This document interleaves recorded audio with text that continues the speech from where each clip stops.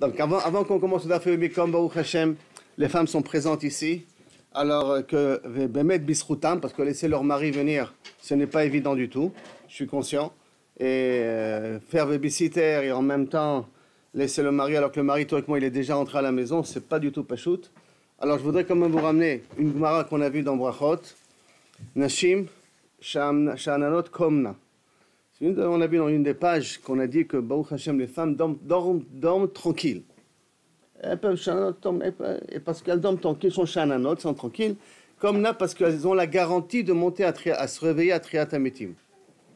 Et la Gemara, elle demande comment c'est possible qu'ils ont la garantie de se, de se lever à Triatametim. Alors la, la, réponse de la Gemara, elle est, c'est que euh, Baruch Hashem, le fait qu'elles s'occupent de leurs enfants et qu'elles envoient leur mari étudier, ça, ça leur donne le srout de Triatametim parce que sans Torah, il n'y a pas de Triatametim. Nous savons tous, Talorot Alecha, que le srout Kaviachot de Triatametim, c'est un srout qui est basé essentiellement sur l'étude de la Torah. Et comme les femmes sont pturot d'étudier la Torah, donc même si elles étudient, elles n'ont pas le mérite de l'étude de la Torah. Elles ont un mérite, mais pas le mérite de l'étude de la Torah. Alors comment elles vont arriver à ce srout-là, ce mérite de pouvoir être de Triatamitim C'est le fait qu'elles envoient leur mari. Alors pourquoi elles sont tranquilles? Qui dit que leur mari a étudié comme il faut? Des fois, on arrive au Dafayomi et on s'endort. Alors, euh, euh bah, n'a rien entendu. Il s'est endormi pendant tout le repas. Alors, euh, pendant tout le shiur. Et la main. Chazal nous apprennent que même que le mari n'a pas étudié, le fait qu'elles ont libéré leur mari, c'est comme si elles ont étudié 100% de l'heure, 60 minutes netto. Hein. Net. Nous, ça dépend. Qu'est-ce qu'on a rigolé au milieu, qu'est-ce qu'on a dit au milieu, elles sont endormies au milieu, pas endormies au milieu. Mais les femmes, elles ont 100% des 60 minutes de l'heure et demie, 100%. De telle sorte que Baruch Hashem, puisqu'elles envoient leur mari, alors à ce moment-là, leur limoud, il est les Shem Shamaim. Parce qu'elles gagnent rien en retour, au contraire, elles perdent dans l'affaire. Elles perdent dans l'affaire, donc c'est les Shem Shamaim. Et comme leur limoud est les Shem Shamaim, et on sait que pour entrer au Gan Eden, il faut aussi avoir une mitzvah les Shem Shamaim. Si on n'a pas au moins une mitzvah les Shem Shamaim, on n'a pas le passeport pour entrer. On a la maison, mais on n'a pas la clé. La maison, elle est, mais la clé, on l'a pas. Et la clé, c'est une mitzvah les Shem Shamaim. Et hum, nous, les Shem Shamaim, les hommes, on a plus un désintérêt, kavod, argent, brachot. Mais la femme, c'est netto, cadeau pour son mari. Par conséquent, le limoud que le mari fait, elle, elle les aura, les Shem Shamaim, à 100%. Donc ça veut dire qu'elles rentreront 100% au Gan. Elles ont la clé pour entrer. Et par conséquent, comme elles ont la clé pour entrer, alors je vous demande, mesdames, si c'est possible, après 120 ans, bien entendu, quand Akodosh Baruch il vous fera rentrer, n'oubliez pas vos maris. C'est là pour tout, D'accord N'oubliez pas que vous avez aussi vos maris là qu'il faut les faire rentrer aussi et que vous ayez le corps de les faire rentrer, de dire ne peux pas avoir un Gan Eden si je n'ai pas mon mari à côté de moi. Alors, Bezrat Hashem, que vous puissiez euh, être zoché de ça et qu'on soit zoché mamash comme l'initiative de Michael, l'initiative de toutes les personnes qui viennent de la communauté d'Uriel, Baruch Hashem, qui me, me remplace mamash avec un Chesed Elion qui me remplace que cette communauté puisse grandir, que chacun. Et que ça grâce à ta femme, ça, je sais. C'est En tout cas, grâce à toutes les femmes, c'est sûr, mais que, maman, je remercie toutes les participants du, du, euh, du, du Dafayomi, parce que, au même, c'est moi qui dis dans le chiour, mais c'est moi qui gagne plus que vous. Parce que ça me force à le préparer, le chiour. Donc ça me force à le dire, le chiour. Donc ça me force à mieux le comprendre, le chiour. Donc en vérité, je gagne sur vous deux fois plus que vous gagnez de moi. Donc c'est sûr que moi, je dois vous remercier là-dessus.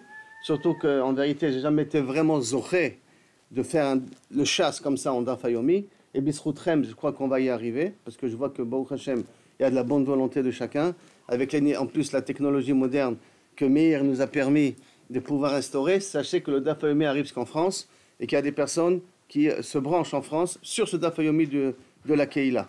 Baruch Hashem, par l'intermédiaire, bien entendu, du Rav Moshe, que je vous envoie, j'en profite, Refouach Lema, je veux dire Refouach Moshe Ben Esther, euh, et aussi une femme de euh, Monique de Batrosette, Refouach Lema, et Refouach Lema aussi, que j'en profite, avec le sroud de Soda Fayomi, que cette magefa, cette corona-là, elle euh, se termine le plus vite possible dans le bien et pas dans le mal.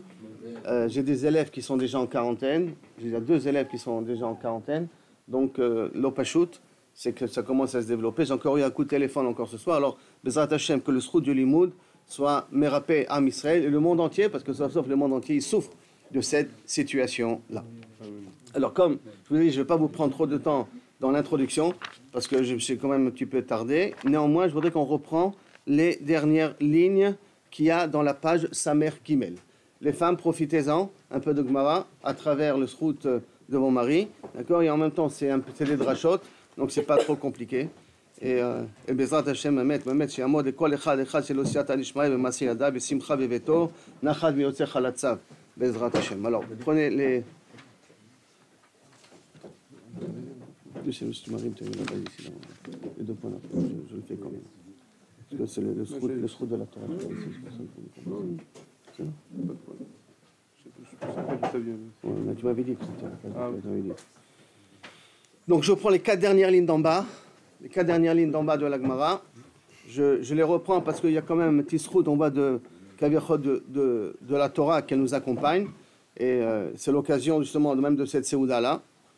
Patach Rabbi Elazar Beno shel Rabbi Yossi Agalili. Rabbi, Elazar, au nom de Rabbi Yossi Agalili, il a ouvert aussi Bichvod Arsania. Parce que quand on est invité, normalement, ça il faut savoir que lorsqu'un Chacham est invité, il est obligé de payer le repas. Comment il paye le repas avec les livrets Torah? C'est sa façon de payer le repas qu'il a. Euh, entre parenthèses aussi, si vous prenez en train un, un Ben Torah, demandez-lui de vous dire un pied de Torah, au moins qu'il paye le transport. D'accord Il n'y a pas de raison que là, Patach, Bichvod Arsania, et que dans, dans, le, dans le Trumpiste là que je l'ai pris, il ne va pas me dire aussi un Vidvar Torah, il ne va pas m'en faire aussi en profiter. En tout cas, on a vu toute une liste de personnes qui ont dit des livrets Torah l'Ichvod Arsania à l'honneur de l'invité, de, de, se faire, qui se sont fait inviter. Et lui, il a fait la dracha suivante. Vedarash. Vaïvarech Hashem et Oved Edom. Que il a béni Oved le Edomite. Maintenant, c'est quoi l'Edomite Il n'est pas Edomite, c'est un juif. Mais le, le, à l'époque de David, quand il a voulu l'amener à Yerushalayim, ils l'ont pris de Kiryat Yarim, et puis il y a eu le problème de Peretz Uza. Dans un certain Peretz, qui a à l'endroit de Uza, qui a voulu rattraper l'arche sainte avant qu'il tombe. En voulant le rattraper, il est mort. Et donc, par conséquent, David, il a transféré l'arche sainte dans la maison de, du tzaddik, qu'ils ont pu trouver pas loin de la région, c'était Oved, à Edom. Ce Oved-là, par le fait que Kaviachol, Aaron et Elohim étaient chez lui pendant trois mois, il a vu une bracha. C'est la bracha qu'on va en parler ici. Bah, vous, Aaron et Elohim, bah, il a, il a béni grâce au Aaron et Elohim, grâce au fait qu'il a l'arche sainte à la maison. Pour nous, comment on peut traduire ça? Un Sefer Torah à la maison, ou on peut traduire aussi une Sifria avec des livrets Torah à la maison. La Sifria elle-même, c'est une bracha pour la maison elle-même.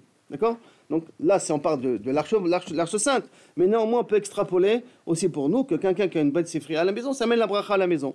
Ça se comprend aussi. Psychologiquement, ça se comprend. Et là, dans l'autre, varim kalvachomer. Et donc, on peut faire là-dessus un kalvachomer. Comment ça? Uma Aaron, Shelo Achal Veshata, l'Aaron, l'arche sainte. Il fallait rien que le poser. Il ne demande pas d'un service. Il n'avait rien besoin de s'en occuper de lui. Et là, et, et comme la bracha, Vachlacha Veshata, et la Kavad Verabatz Lefanav, il a nettoyé le parterre devant lui. Lefanav, et quand même, il a eu la bracha. Tamil Chacham Betor Beto. Celui qui invite un Talmid Chacham chez lui à la maison, ou Ma'achilo, ou Mashkeo, il y a plus forte raison qu'il lui donne à manger et qu'il lui donne à boire, ou Ma'neo Minechasav, et qu'il fait du commerce avec lui. Faire du commerce, ça veut dire que le Talmid Chacham lui donne le peu de d'économie qu'il a, il prend cette économie-là, il le développe. Ou qu'il fait un match du commerce avec l'Amir il le met associé avec lui dans la société. Il y a, je sais, Rabbi David Abou Khatsira, plus d'une fois, il fait associer avec des gens. Il se fait associer, il donne, même pas, c'est 0,1% l'homme chané. Mais pour que Kaviachol, on consigne, et il reçoit un bénéfice là-dessus, pour qu'il y ait la bracha dans l'entreprise de la personne. Donc, Alachat Kama Bekama, que la bracha, il va pouvoir l'avoir. Maintenant, c'est quoi la bracha? Alors, nous, la bracha, c'est de l'argent. On a tendance à dire que la bracha, c'est de l'argent. L'argent, d'argent. Mais on voit que la bracha, elle est un peu différente ici. Maï bracha, Sheberecho, Amar Rabbi Yehuda Bar Zavda, Zo, Chamot Veshmona Kalotea. C'est donc la belle-mère et les huit filles, les huit calottes, avec, avec des garçons, semble-t-il, hein, les huit calottes, Kaviachol, euh, euh, Aldou, Shisha, Shisha, Bekeres Echad, que chacun a pu avoir six enfants d'un coup comme à la sortie d'Égypte. Ça, c'est Kaviachol, la définition d'une bracha. Une bracha, c'est savoir qu'on peut laisser Bezrat Hashem dans ce monde-là, Blainara, beaucoup de juifs, beaucoup d'enfants qui vont pouvoir continuer à construire le peuple juif. Shenema, Pealto Hashmini, le Pealti, le, huitième enfant qu'il avait, Vektiv Kiberacho Elokim, Kol Ele Mibne Oved, tout ça c'est des enfants de Oved Edom, Hema, Hema ou Benehem Veachehem, eux et, leur, et leurs enfants et leurs frères, Chel Kavet, c'était une belle armée, la Avoda. Shishim Veshtaim Leoved Edom. Il a eu 62 enfants. 62 enfants, comment ça? C'est si on prend que chaque belle, belle, belle fille a eu, on a eu 6, et on a eu 8, 8 belles filles, donc ça nous donne déjà 6 fois 8, 54, plus les 8 enfants qu'ils en ont, donc ça nous, ça nous amène à 60, 40, 62, 6 fois 8, 48, d'accord, plus les, euh, les 8 enfants qu'il avait, ça nous fait 56 plus encore 6 de, de, sa femme maintenant. 6 de sa femme qu'il a, qu'il a, qu'il a, qu'elle aussi, parce que la belle-mère, elle en a eu aussi. Hein. la belle-mère et la belle-fille, ils en ont eu aussi. Ça pas comme ça, il n'y a pas de jaloux. D'accord? Ça nous arrive donc à 62 enfants qu'il a été zoré, uniquement parce que pendant 3 mois, il avait le haron chez lui à la maison. Et on fait ici un kalvachomer si on reçoit un Talmud à la maison et qu'on le, fait participer aussi de ses biens. Est-ce qu'il faut les trois choses en même temps hein? Machelo, Mashkeo, Maneo, Menechasam, c'est pas écrit. Est-ce qu'un des trois ça suffit? C'est fort possible aussi. Mais déjà, un pourcentage de ça, ça vaut déjà pour la bracha qu'on voit ici. Bien aura la famille nombreuse. D'accord? Donc la bracha Bezrat Hashem, il faut comprendre que c'est la famille nombreuse la bracha. Amar, je continue. Amar Rabbi Avin Alevi. Rabbi Avin nous enseigne. Kol adochek et sha'a, sha'a dochako. Quelqu'un qui joue à la loterie nationale, une fois il gagne pas, deux fois il gagne pas, trois fois il gagne pas. Il dit quatrième fois je vais gagner. Plus tu forces et tu vois que ça marche pas, et moi tu vas réussir. Par conséquent, tu vois, tu as essayé, donc tu as essayé, et tu vois que ça n'a pas marché, deux, trois fois, quatre fois, tu as essayé dans une société ou n'importe quoi, laisse tomber. Ça c'est que le moment n'est pas arrivé. Si plus tu fais du forcing, plus ça s'éloigne de toi. Donc, euh, l'heure en question, elle s'éloigne de lui. Celui qui voit que ça ne marche pas et qui laisse passer, et donc à ce moment-là, la klacha, elle va venir, c'est que le moment il va lui arriver sans qu'il stresse et sans que Kaviachol, ça lui pose des problèmes. Psychologiquement, ça peut s'expliquer très simplement. Je vais à un rendez-vous de travail dans une société, je vois que ça ne marche pas tout ça, je commence à m'angoisser. Quand je vais au deuxième, je vais m'angoisser encore deux fois plus. Troisième, je viens avec la crainte dès le départ qu'il y a un risque d'échec, donc je suis moins performant. Donc arrête, laisse. Les fait passer. Fait passer. On n'est pas responsable des conséquences. Nous, on a uniquement l'obligation de faire une procédure, de faire les choses. Mais les conséquences ne sont pas sous nos responsabilités. Par conséquent, on ne s'angoisse pas. On fait et on laisse à Kadosh beaucoup à finir le travail. Mi panav. Alors, mi de Rabba et Rabbi Yosef. Maintenant, il y avait Rabba et Rabbi Yosef, ils étaient là-bas à Bavel. Rabbi Yosef, Sinai. Et Rabba, Okerarim. Ils avaient deux approches différentes. Un, c'était Ravovadia. Oh, c'était le Rav si on, peut, si on veut essayer de comparer. Ah, euh, Har Sinai veut dire qu'il avait une Blainara, l'encyclopédie de la Torah dans la tête. Et Rabbah, c'était le Me'ayen, c'était le, on va dire le Rabbi Yashif, c'est la personne qui, s'est creusé dans une Sfara, s'est creusé dans une Soukia, mais il n'avait pas tout le chasse dans la tête. C'est pas le cas du Rabbi Yashif, mais non, il n'avait pas tout, tout, toutes les, les, les, dans la tête, toutes les sources dans la tête.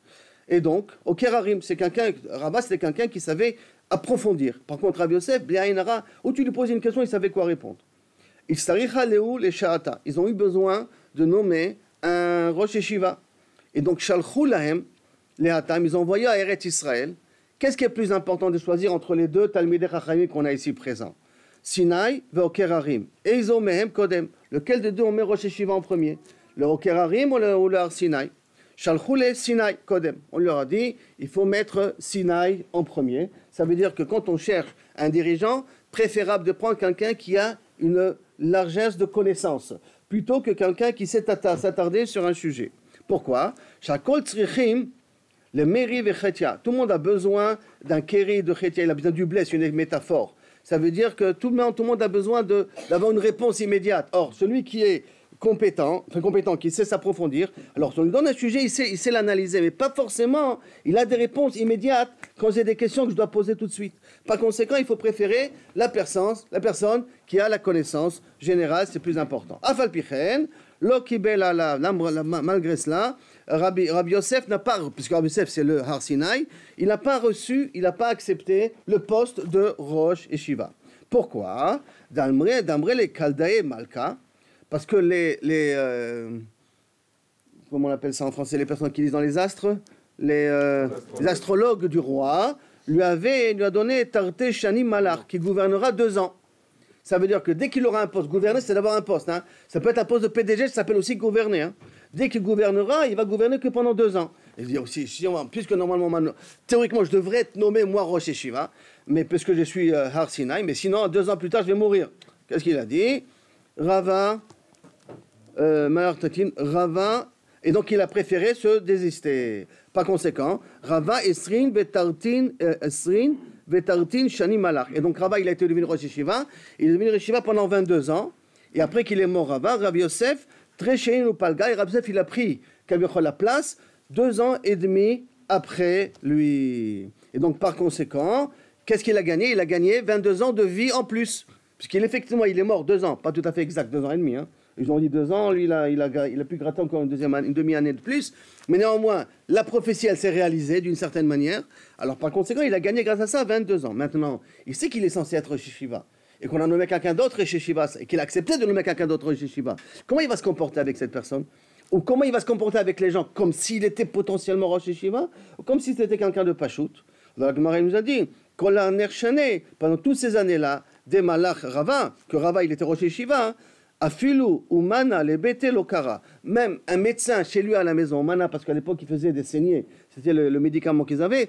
Donc même un médecin il n'a jamais appelé chez lui à la maison. Comme quoi, chez Rosh Shiva, je peux amener un service, un service euh, à domicile. Non, il n'a pas voulu avoir aucun kavod, aucun honneur de potentiellement qu'il aurait pu être Rosh Shiva, mais qu'il a préféré ne pas être. Il s'est comporté comme tout le monde. Amar Rabbi Avin Alevi. Maï dirti, que veut dire le pasouk Yancha Hashem be'om tsara. Que je te répondra au moment d'une tsara, d'une difficulté. Il t'élèvera Elo- Elokei Yaakov. Mais la Gemara demande Elokei Yaakov et le Elokei Abraham, Yitzhak. Comment ça se fait? Sauf sauf on est dans un moment de, dé- de détresse. Pourquoi tu parles spécifiquement rien que de Elokei Yaakov et pas Elokei Abraham, Elokei Yitzhak?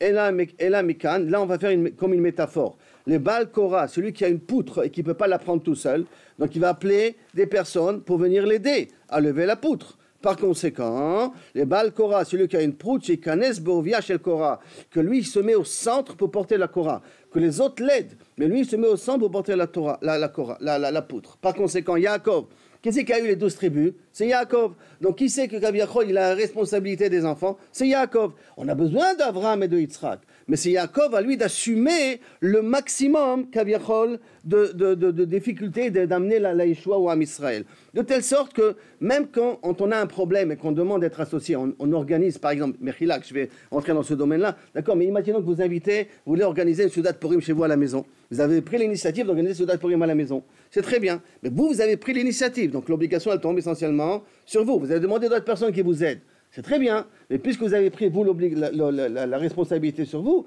donc théoriquement, c'est à vous de faire la partie essentielle de la préparation. Puisque c'est vous qui avez pris, vous avez décidé que ce soit spécifiquement, c'est vous. Ça veut dire que lorsque quelqu'un, il a quelque chose qui le concerne et qu'il demande de l'aide, c'est vrai, c'est très bien de demander de l'aide, ça fait participer tout le monde, mais à partir du moment où c'est vous qui avez pris, ça vous concerne à vous, alors à ce moment-là, l'essentiel doit être fait par vous-même. C'est comme la Korah, celui qui appartient à la Korah, même s'il a de l'aide, à lui de porter la Korah qui représente Yaakov. Amar Rabbi, Amar Rabbi Avin Alevi. Kol anehena mesoudat amit chacham, sharoui betocha, kilu nehena mizi. Tout celui que Baruch Hashem, on a tous des Talmidei Chachamim, et qui viennent et qui mangent. Alors toute personne qui mange de la Seouda, c'est comme s'il a, participé avec Zivashkana, comme si Akosh il est avec lui. D'où on apprend ça? Chez Aaron, Israël, ça c'est l'époque de Yitro, la Souda de Yitro, fameuse Souda d'Yitro, d'accord? Vayavo Aaron, Vekol Zekne Israël, Echol Echem, Im Choten Moshe, avec Yitro, le beau, le beau, le beau, le beau, le beau-père, Choten, Choten, le beau-père de Moshe, d'accord? Lifna Elokim, devant Akadosh Baruch Hu, Lifna Elokim, Achlou. Est-ce qu'ils ont mangé devant Akadosh Baruch Hu Ils ont mangé devant Moshe. Et là, Achlou. Alors, Lifna Moshe, Achlou. Devant Moshe, en plus, Moshe, c'est celui qui les a servis. Et là, l'Omar Lecha, celui qui est néna d'un repas où le Talmid Chacham, c'est lui qui est l'instigateur du repas ou qui est présent dans le repas, d'après le langage du début de la Gemara, que le Talmid Chacham, il est présent, Betocha, Kilu Ashrina, c'est comme s'il est en contact là maintenant avec Akadosh Baruch et Baruch Hashem, nous tous ici, on est Talmid Chacham, on est tous Zoché, maintenant que la Shrina soit ici présente. Marabi Avin, Halevi, Haniftar Michavero, celui qui dit au revoir à un ami, d'accord? Al Yomarlo Lech Be Shalom. Ne pas utiliser le mot Be Shalom, et là, Lech Le Shalom avec le Lamed. Pourquoi avec le Lamed? Il y a une différence entre B. B, ça veut dire sur Bashulchan, sur la table. L'ilmod, la lechet, c'est une péoula, c'est un, un poil qui est en fonction, qui est en mouvement. Donc quand tu dis à quelqu'un euh, les si tu veux, les shalom, de sens que tu sois en mouvement, tu sois vivant toujours. Ça veut dire que donc tu reviens en paix aussi. Par contre, Béchalom, tu le bloques à l'endroit où il se trouve. Et Chaz Béchalom, Kilou, il n'y a pas de continuité. Chez Aré, d'où on apprend ça Itro, Shamar, les Moshe, les Shalom, Allah Moshe, il a réussi. Quand Yitro, Yitro lui a dit en plus. Et ça a réussi. David, Shamar, les Shalom, lech Béchalom, Allah Venitla. Huit mois plus tard, on l'a trouvé plan pendu, près en haut d'un arbre. Vamar Rabbi Avin, Halevi, Haniftar Minamet. Celui qui quitte, qui malheureusement en enterre un mort, d'accord. Ayomar lo lech le shalom, l'inverse, et la lech be shalom, shenemar vata tavo el avotecha be shalom. Là, c'est le pasouk mefourage, tavo el avotecha tira vers tes pères, tes pères c'est la mort, be shalom, le pasouk qu'il dit, donc dans la levaya, dans une levaya, on dit lech be shalom, et un noir el mishkavcha be shalom. Amar Rabbi Levi bar Chanina, היוצא לבית הכנסת ונכנס לבית המדרש ועוסק בתורה, donc trois choses, hein, il part de la choule, il rentre pas à la maison, il y a marqué ici, quand il Midrash, il va tout de suite à sa chavruta, d'accord tout de suite il va à sa chavruta, ve'osek batora, il étudie, zoché ou mekabel pene shrina, c'est un homme que Kaviachol, il est zoché d'avoir la shrina avec lui pendant la journée. C'est la raison peut-être pourquoi les Sfaradim ont l'habitude, dans la fin de la tfila, de dire une halakha. Quand on dit une halakha, c'est un petit peu comme si c'est directement, je suis parti au Midrash. Et donc je suis zoché, bisroutze, que j'ai commencé à étudier, parce qu'il n'y a pas marqué la quantité combien on étudie. Il y a marqué tout de suite après la tfila une petite étude. Tout de suite après la tfila une petite étude, zoché le pnei ashrina. Chez Neymar, d'où on apprend ça, Ichou Michail El Chail, d'étape en étape, de, de, de bravoure en bravoure. El Elokim, Betzion, il pourra voir à Kadosh Baruch à Tzion, donc il sera zoché d'être Mekabel Pnei Ashrina, et Minastam être Mekabel Ashrina Betzion, donc peut-être aussi Bezrat Hashem d'être zoché de voir le Mashiach. Amen, Kani Ratson. Amar Abichia. ברש"י, אמר רב, תלמידי חכמים אין להם מנוחה לא בעולם הזה ולא בעולם הבא. Ils ont ni de repos ni ici ni là-bas. Chez les Mar, Ilchou Mechaïl Chaïl, Yiraïl Elokim Betzion, le même passage qu'on a ramené auparavant. Maintenant, pourquoi les Talmid Chachamim n'ont pas de repos même dans l'Olam Abba Parce que Baruch Hashem, un Talmid Chacham, il a laissé un enseignement, il a laissé des élèves, donc les élèves continuent à étudier et continuent à dire des chidushim en son nom. Par conséquent, quand ils se trouvent en Lamaba, puisqu'on continue à dire des chidushim ici sur terre, c'est encore du bénéfice, de l'intérêt et, du ribit qu'il reçoit là-haut dans le ciel. Donc même qu'il a trouvé sa place là-haut, le lendemain on a dit des choses en son nom, hop, on avance dans une maison un peu plus grande. Pourquoi? Parce que bon Hachem en bas, tu as laissé quelque chose de bien. C'est la raison pourquoi, dans une askara, on dit des livrets Torah, on fait des brachot de la personne pour lui permettre à monter encore un niveau supérieur. Donc ne pas se gêner. Si vous avez besoin pour, des, pour les Nishmat des personnes de le dire, je fais ça, les Nishmat, parce que chaque chose que vous faites, les Nishmat, lui permet là-haut dans le ciel de monter une étape supérieure. Rabbi Elazar, Amar Rabbi Chanina, Tamid Chachamim, Marbim Shalom Baolam. Tamid Chachamim, qui Kaviachol, et par la Torah qu'ils apprennent, ça fait descendre la bracha, et par le fait qu'ils donnent la halacha, ça évite le safek. Donc automatiquement, Marbim Shalom Baolam, Shenemar, Vechol Banaïr, Limoudé Hashem. Baruch Hashem, tous les enfants d'Akadosh Baruch ils apprennent le, chemin de Boré Olam. Verav Shalom Banaïr. Altikre Banaïr, et là, Bonaïr. Ne crie pas tes enfants, mais là, tes constructeurs, Boné Otra. Shalom Rav Loave Torah. Ça amène le shalom à ceux qui aiment la Torah. Ve'en lamo mirchol, et Kaviachol à son peuple, il n'y a pas de mircholim, il n'y a pas de, grâce à ça, il n'y a pas de problème. Mirchol, c'est un des, des, euh, des, des embûches. Yeshalom Becheler, ça amène la paix dans ton, dans ton camp, la tranquillité dans ton palais, les je parlerai que du bien de toi, les man Bet Hashem Elokeinu, Abaksha Toblar, je demanderai que du bien pour toi, Hashem Ozamoiten, et automatiquement, Hashem, puisqu'Akosh il nous aime, et Akosh il attend que la paix qui soit entre nous, que comme ça on peut faire descendre la shrina. Hachem Yevarech et Amo Shalom, parce qu'il n'y a pas de meilleur bracha que le shalom. Quand on a le shalom dans une communauté, il y a la bracha dans la communauté. Quand il y a le shalom dans l'âme Israël, aucune nation peut nous nuire. Et quand il y a le shalom dans le couple, alors il y a la bracha aussi, et la parnassa, et la bracha, et l'éducation des enfants qui est parfaite. Bisrout shalom, qui y a aussi dans le couple. Shiten Bezrat Hashem Veniske, la la Ramazot.